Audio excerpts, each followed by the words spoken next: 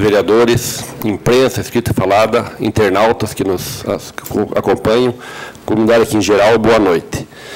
Eu vou falar de um assunto um pouquinho chato, mas bem importante, senhor presidente. É quanto às nossas licitações, que a gente cobrava tanto obras e obras no município e agora está acontecendo.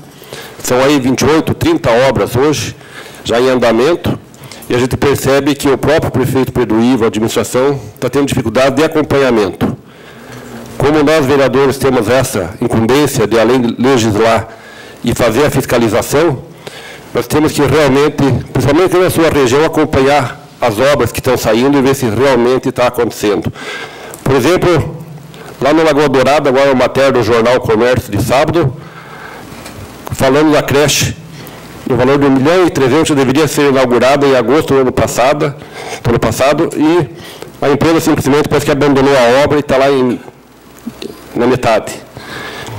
É, do Rio da Areia, uma reforma do posto de um valor de 30 mil reais, um posto que faz dois anos está parado, dependendo dessa obra, dessa, dessa recuperação, restaurar o posto, e não é culpa da prefeitura, da administração, porque veja bem, 30 mil reais a obra, está lá a placa com o início no dia 6 de junho, com conclusão dia 28 de junho, em apenas 20 dias.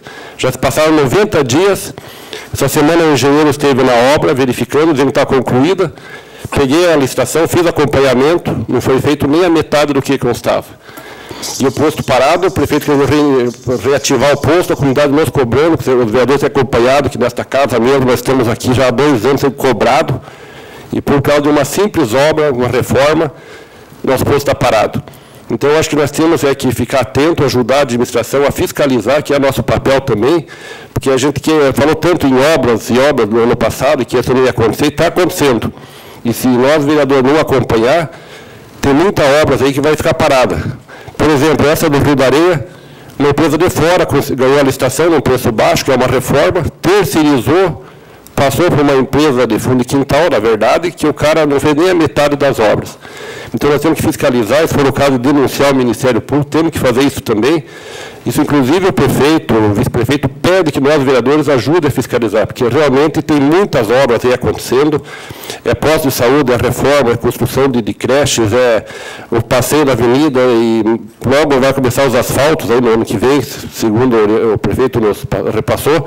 Nós temos que acompanhar, nós, vereadores, temos essa obrigação de, além de legislar, acompanhar essas licitações, ver se está sendo feito dentro do que consta na licitação. E eu peguei muitos furos nessa licitação lá numa simples reforma e dei 20 dias para essa empresa concluir. Se não tiver concluído em 20 dias e entregar em condições de uso, com certeza eu, com a administração, vamos fazer uma denúncia ao Ministério Público para verificar isso daí. Então, os vereadores sabem que é a nossa responsabilidade, todo mundo sabe, né? Então, acho bem importante nós ajudar a administração, porque realmente virá muitas obras aí e o executivo não tem condição de fiscalizar todas essas obras aí.